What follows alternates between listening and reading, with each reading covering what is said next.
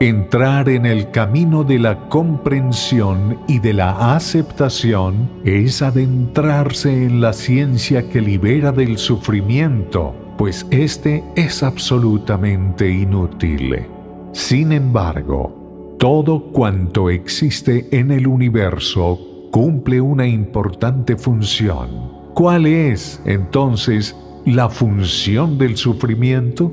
El sufrimiento es una herramienta para la evolución de la conciencia y cumple tres importantes funciones. Evitar que la evolución de la conciencia se detenga. Medir el nivel de la ignorancia individual. Facilitar el reconocimiento de la verdad. La verdad os hará libres. Es una expresión muy cierta, pero ¿libres de qué? De todo, del sufrimiento también. Otra pregunta importante es la siguiente. ¿Somos culpables de ignorancia original? ¿Estamos condenados a muerte? Según las enseñanzas tradicionales, parece que el ser humano es culpable de algo y que tiene una condena por cumplir. No obstante, se pueden aseverar dos cosas que el culpable no existe y que a pesar de ello sí existen la liberación y la salvación. Esto es así porque tanto la ignorancia como el sufrimiento y la muerte son necesarios para el desarrollo de la comprensión y la asimilación de la verdad por parte de la conciencia. Pero cuando la verdad se completa en la conciencia, ya no es necesario el sufrimiento, así como tampoco estar prisionero en un cuerpo físico. Cumpliendo la ley de la naturaleza, todo lo que nace muere. Es decir, todo cuerpo nacido necesariamente muere. No obstante, la materia de la cual están compuestos los cuerpos es indestructible la muerte solo corresponde a un proceso permanente del universo dentro del cual la materia se organiza y se desorganiza constantemente. Lo que realmente le da vida a la materia es el espíritu. La muerte corresponde solo a la parte temporal del espíritu, los cuerpos inferiores. La verdad y el amor nos salvan de la muerte. El espíritu del ser humano está compuesto de dos elementos o archivos, la conciencia temporal y la conciencia permanente, como ya se dijo anteriormente. La conciencia temporal, también llamada mente, ego o personalidad, está compuesta por dos partes, la ignorancia, como todo aquello que inevitablemente se aprende, y la comprensión, como todo aquello que se verifica. La conciencia permanente, también llamada a ser crístico, igualmente está compuesta por dos partes. La inocencia, como el espacio para ser completado con la verdad, y la pureza, como la verdad del amor y ley acumulada a través de las vidas. Ambas conciencias, la temporal y la permanente, no pueden estar despiertas simultáneamente mientras exista el ego. Cuando la conciencia permanente despierta, lo hace para asimilar la información que está en la personalidad, mientras que ésta presente algún nivel de contaminación, la conciencia necesitará dormir para no contaminarse. Cuando se han disuelto totalmente los archivos que van de la quinta dimensión hacia abajo, lo que queda en el campo mental es comprensión, que será la que asimile la conciencia Mientras la personalidad hace su trabajo de verificación de la ignorancia y de descubrimiento de las leyes, la conciencia duerme plácidamente, descansa tranquila, duerme en un sueño atemporal, en una dimensión espiritual alta, sin que el tiempo signifique nada para ella. Volviendo a un concepto anterior, La aceptación hace a las personas libres de toda limitación asociada con la contaminación de la parte temporal del espíritu, como el sufrimiento, el egoísmo, la ignorancia, las guerras, las luchas, las angustias y los miedos. La personalidad purificada por la comprensión y la aceptación ya no muere más, porque ha renacido en vida. A esto se le llama la resurrección de los muertos. La comprensión de la verdad nos salvará de todo proceso asociado con la materia y la naturaleza. La palabra pecado, en su sentido etimológico, quiere decir error, traspiés, ir contra la razón. El error no debe implicar sentimiento de culpa, sino de aprendizaje cuando se habla de culpa, en realidad se está haciendo referencia a la ignorancia. La inocencia se convierte en ignorancia con la información que recibe de la cultura, mientras que la ignorancia se vuelve sabiduría con la comprensión verificada. Cuando alguien hace algo que no funciona bien, realmente está cometiendo un error. No existe un solo ser humano, ni tampoco un animal, que cometa un error con la intención de equivocarse.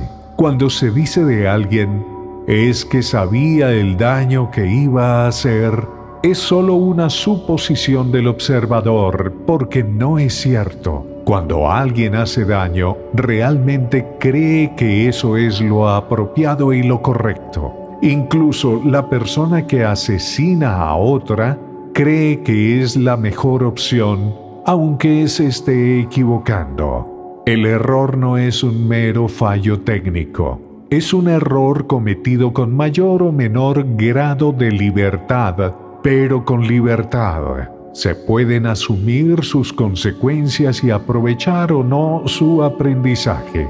Si no se hace esto último, el error se repetirá. Desde la conciencia mística uno ve que existe la responsabilidad, pero no la culpa, porque se percibe claramente que la culpa calibra a baja frecuencia vibratoria y lastra el crecimiento por contagio energético. Este es más un tema físico que incluso moral. Además, si uno se culpa a sí mismo, también lo hará con los demás y ya se sabe lo que ocurre en las relaciones a partir de ahí, como se verá en el capítulo séptimo. Todo error o acto contra la ley del absoluto debe llevar a la persona a su reconocimiento. Esto es una forma de arrepentimiento sin culpa. Si se quiere ver de otra manera, un arrepentimiento con culpa positiva que transforma pero sin culpa negativa que autodestruye, para poder aprender de él, ya que si no se ve no es posible aprender. También debe conducir a una intención de superación del error a través de un intenso propósito de enmienda. Los seres humanos somos responsables de nuestros errores porque además de afectarnos a nosotros, afectan inexorablemente a todo el universo a través del entrelazamiento cuántico. En todo caso, conviene evitar el error, porque no es posible librarse de sus consecuencias. Es libre la siembra, pero no la cosecha. Las personas cometen errores porque no tienen suficiente información o porque la que tienen es falsa. Por lo tanto, necesitan aprender lo que no saben. No existe la maldad, solo la ignorancia. Y el ignorante necesita una enseñanza, no un castigo. Perdónales, Señor, porque no saben lo que hacen. Fueron las palabras de Jesús en la cruz. Podría haber dicho, perdónales porque son malos, pero aún así hay que perdonarles. Pero no dijo eso. Estamos condenados a muerte, pero a la muerte del ego. Lo ideal es morir de instante en instante, Y eso significa nacer de instante en instante, porque cada vez que muere una creencia falsa, nace una verdad inmortal dentro de cada uno. Día a día las personas se están inmortalizando en la medida que va muriendo lo que no son. Ese es el proceso de desarrollo espiritual. El ego es el único que se preocupa por lo que no tiene importancia. En la medida en que cada uno usa el ego es un muerto, porque está centrado en la parte mortal de sí mismo. Por el contrario, en la medida en que se limpie el ego, se manifestará la sabiduría o la comprensión, y será entonces cuando se resucite de entre los muertos, cuando se produzca el despertar. En la conciencia permanente no hay ignorancia, solo inocencia, ausencia de información o sabiduría. A través de la muerte se disuelve la ignorancia. Por eso, mientras se tenga ignorancia, la muerte es necesaria. Pero en ausencia de ignorancia, no hay muerte. Lo único mortal que hay en el ser humano es la personalidad y el cuerpo físico. Todo lo demás es inmortal. Pero incluso esa parte mortal, cuando llega a la verdad y al amor, también se vuelve inmortal. La personalidad se inmortaliza a medida que se va liberando del ego. Entonces, cuando está completamente liberada, sobre ella se manifiesta la luz de la conciencia. A eso se le llama el ser renacido o iluminado. El ejercicio en el que una persona va pasando una parte de su ego al archivo de comprensión, lo que verifica, y va desechando definitivamente lo que le trae sufrimiento porque se revela falso, termina por limpiar completamente el campo mental. Esta persona se libera sin morir. A partir de ese momento, la persona queda liberada de la necesidad de volver a nacer y de volver a morir. No hay nada imposible. Todo puede hacerse. Lo único que no puede hacerse es lo que va en contra de la ley del universo. La comprensión es inmortal porque las verdades del universo siempre serán inmortales. La comprensión es parte del campo mental, pero es inmortal porque es lo que asimila la conciencia permanente. El poder de la renuncia. Aprender a soltar y perder agenda propia. Hoy en día la renuncia es una técnica que se aplica en psicología para ayudar a las personas a superar diversos conflictos mentales tales como la angustia, el estrés y el estado de pánico o las crisis emocionales y sentimentales. Pero ya no es necesario para ello refugiarse en un monasterio ni escaparse del mundo. Por otra parte, la aceptación es una técnica de entrenamiento mental sustentada en el conocimiento filosófico y en la comprensión de la realidad de la vida y puede practicarse en la cotidianidad. El poder de la renuncia, del soltar o del dejar ir es muy superior al de la psicoterapia. El objetivo de esta última es reajustar el ego para que tenga un mayor equilibrio, mientras que el propósito de la renuncia es la eliminación de toda limitación emocional o mental para conseguir la paz y el acceso a las facultades superiores. De la integración de la renuncia con la aceptación resulta la paz absoluta del espíritu. La renuncia desbloquea la mente y la vida fluye. Y si no es así, es porque no se ha renunciado y no se ha aceptado lo que la vida es y lo que ofrece. Dejar de insistir permite ver otras opciones. Pasa como con la polilla, que no desiste de pasar por ese cristal. No ve que puede pasar por otro sitio para llegar al jardín.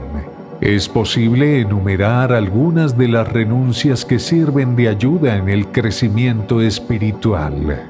Renunciar a prohibir que los demás hagan lo que necesiten hacer para aprender, a imponer las propias creencias, razones o verdades, a condenar las actitudes o comportamientos de los demás, a la protesta cuando las cosas no salen como uno quiere, a replicar ante aquello con lo cual no se está de acuerdo a cumplir funciones que ya no le corresponden a uno mismo, a hacer justicia por lo que le suceda a uno mismo, a otros. Ya se encarga el universo, a ofenderse por lo que los demás digan o hagan, a todo aquello que pueda alterar la paz interior, a forzar a las personas para que estén con uno, a buscar culpables por las cosas que suceden, a oponerse a la realidad que la vida presenta, sufrir ante aquello que no se puede cambiar, a angustiarse por lo que no se puede manejar, a luchar por conseguir lo que no se necesita, a sufrir por aquello que no se puede hacer, a agredir a nadie por ninguna razón a defender la razón que se cree tener, a preocuparse por lo que no se sabe, a sufrir por lo que pueda suceder, a investigar quién le hizo daño a uno, a que los demás decidan por uno, a temer por los seres queridos, a retomar lo que no se necesita, a criticar a nadie ni a nada, al ego y al orgullo no hay que interpretar las renuncias equivocadamente. No hay que renunciar a lo que a uno sí le corresponde, sus funciones y sus actividades ante la vida. La paz de cada cual es el resultado de renunciar a todo lo que no le corresponde. Mientras no se haga esto, no se puede tener paz. En conclusión, y de una forma muy simple, el poder de la renuncia se trabaja de la siguiente manera. Renuncia a cambiar la realidad de los demás. Cambia tu propia realidad mediante la aceptología. Enséñales a los demás a cambiar su realidad después de verificar que son correspondientes con esa información. A continuación se señalan diferencias entre algunos conceptos. Indiferencia, renuncia. La indiferencia es un nivel de ignorancia sin sentimientos. La renuncia es desistir de lo que no corresponde desde la sabiduría. Es un nivel de maestría del amor, cuando se reconoce que cada persona vive la experiencia que le corresponde que una no tiene por qué vivir la experiencia que le corresponde a otra y que ese es un proceso perfecto para el desarrollo del amor en cada persona, ya no se es indiferente sino sabio. Y esta sabiduría lleva a no intervenir de manera inoportuna, sino simplemente a ofrecer servicio. Al indiferente no le importa la experiencia de los demás, mientras que al sabio sí le importa, pero no interfiere, la apoya. ¿Cómo? Dando la información que las personas necesiten para trascender sus propias dificultades. No dará información a aquel que no la solicite. Resignación, aceptación, renuncia. Si la renuncia no se combina con la aceptación, es decir, con la comprensión, entonces se convierte en resignación y no se encuentra la paz. La aceptación es una profunda comprensión. y la renuncia es desistir de lo que no corresponde. Así queda libre de sufrimientos, de culpas y de rencores. Si una persona se resigna, sigue sufriendo en silencio y manteniendo el nivel de ignorancia en su interior. La comprensión de ningún modo podrá ser indiferente, ni la aceptación podrá ser resignación. La comprensión nunca puede ir en contra de las leyes del universo que ya comprende, ni jamás caerá en la resignación de quien se cree y se siente impotente e incapaz ante la vida. La resignación deja una frustración constante en la mente es el refugio de la ignorancia, la cueva oscura de la mente que está cansada de luchar inútilmente para acomodar la vida a sus propias creencias. La persona que ha caído en la resignación siente una gran impotencia ante las circunstancias de la vida y se ve incapaz de luchar más. Sin embargo, cuando deja de luchar, aunque sea por resignación, tiene la posibilidad de recuperar en parte su energía vital.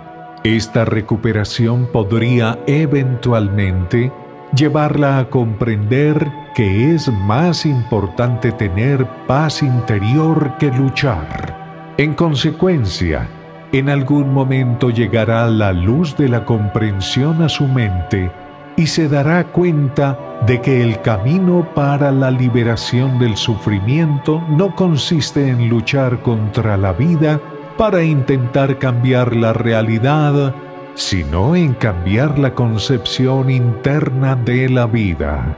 Entonces habrá trascendido la limitación de la resignación y podrá entrar en el camino de la aceptación como la ciencia que libera del sufrimiento.